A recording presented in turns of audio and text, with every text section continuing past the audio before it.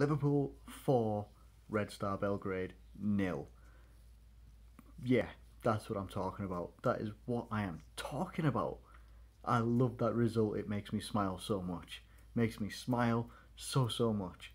Two goals from Mohamed Salah, one goal from Roberto Firmino, and one goal from Mane after he missed a penalty as well. There was another penalty that Salah took as well.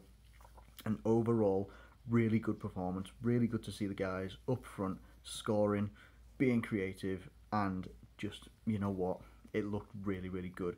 And right now, as it stands, we go top of our group because PSG and Napoli are drawing 2-2. Whether that is the same, you know, at the end of this video, I don't know, but we go we will go top of the group, which is amazing. Which would be amazing if that is what happens. So, really fluid play from Liverpool. It still took about maybe 15 minutes for us to get going in this game, but we got going. And once we got going, we didn't really stop. Now, obviously, this wasn't as comprehensive as it was when it was against like Maribor last year when we won 7 0. You know, but it was a really good performance, really good creative performance, really good going forward, good in defence, the goalkeeper. But the key battle for me, and I said it in my preview, was midfield.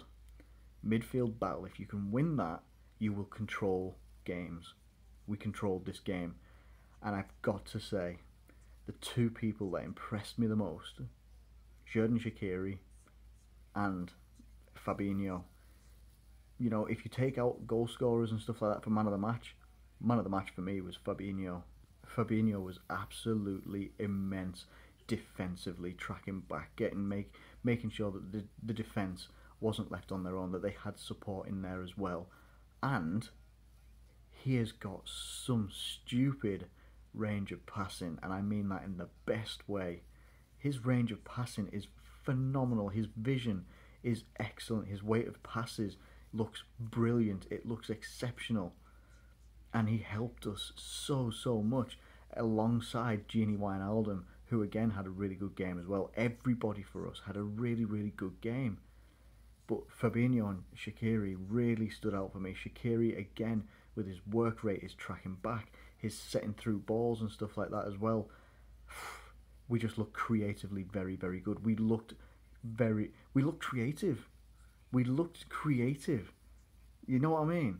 This is why I wanted like Shaqiri in the midfield because he's gonna create, and then you've got Fabinho who is creating from deep.